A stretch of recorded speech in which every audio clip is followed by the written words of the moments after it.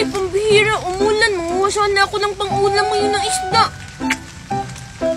Virgie, basta mamaya tignan na tayo nitong donut natin ha, para hindi tayo magutom mamaya. Sige? Hmm, parang humina yung ulan na. Nakakuha na nga ng shell sa dagat para mahihigo pa niya kung mamayang sabaw. Wow!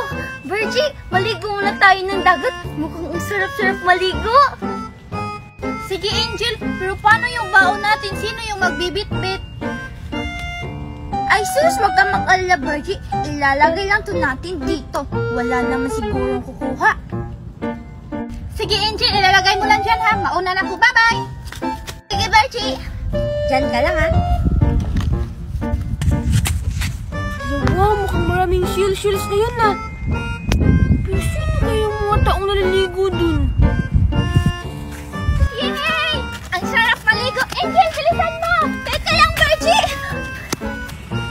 Sino kayang naliligo dun? Eh, makaupo na muna. Nakakapagod na.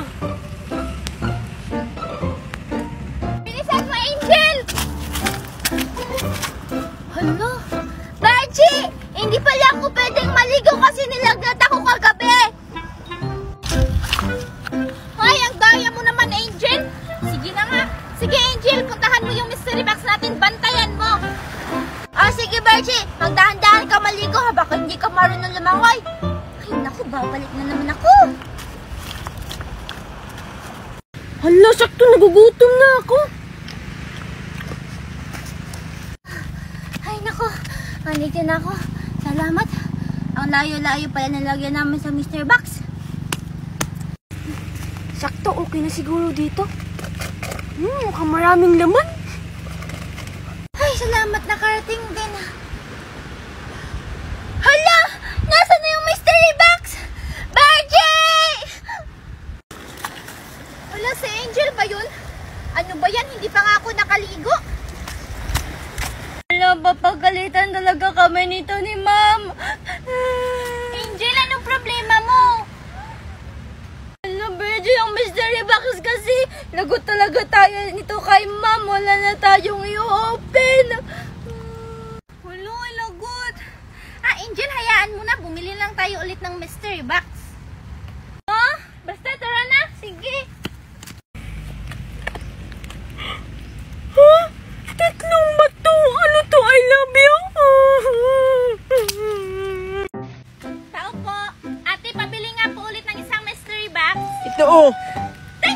Magbayad mo iha. Ay, oo nga pala ito. Okay na. Naku, ang tagal naman ni Virgie. Hala, teka lang. Baka binuksan ni Virgie yung mystery box. Itatanong ko nga.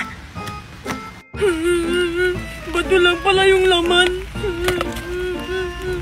Ay, nasa na kaya si Virgie? Wala, sino yung umiiyak?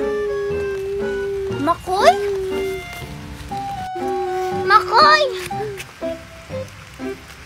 Hala, Makoy, ba't ka umiiyak? Anong nangyari? Hmm, may nakita kasi akong box kanina. Akala ko pagkain din pala. Bato pala yung laman. Hmm. Ha? Eh, nasaan ba yung box na sinasabi mo, Makoy? Alala, alala. Buti na lang, mura lang yung mystery box na nabili ko. Hala, si Angel at si Makoy ba yun? Lapitan ko nga. Angel, Makoy! Hala, bakit umiiyak si Makoy, Angel? Ay, nako, Virgie. Siya na lang yung tanungin mo. Huwag na lang ako. Uh, Virgie, kasi may nakita akong mystery box tapos yung laman mga bato lang, tatlong bato. Oo nga, Virgie, kaya iyak siya ng iyak. Akala niya pagkain. Kaya nga tinatanong ko sa kanya kung nasan yung box eh. Box? Tatlong bato? Makoy?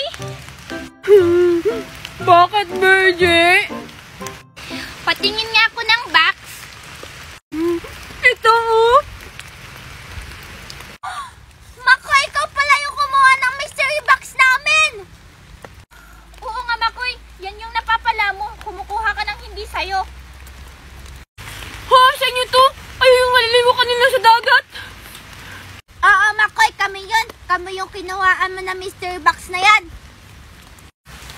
Sa inyo pala to? Akala ko pa naman pagkain. Oh, sa inyo na yan, oh. Yan kasi, nangunguha ka. Para lang naman to sa project namin. Oo nga, ikaw pa yung galit mo ko, ikaw pa yung nanguha. Bumili na lang tuloy kami ulit ng isa. Dapat lang na bumili kayo kasi yung mystery box nyo, bato lang yung laman, hindi pagkain. Kaya nga mystery box Makoy no, kasi hindi mo alam kung ano yung nasa loob. Oo nga. Teka lang, Bergie. Paano mo nalaman na bato yung nasa loob ng mystery box natin? kasi Angel, binuksan ko kagabi. Bergie, hindi na yan mystery box kasi tinignan mo na yon. Nag-aaway sila, makaalis na nga. Hindi dapat ako yung inaaway mo, Angel. Dapat si Makoy. Hala, nasa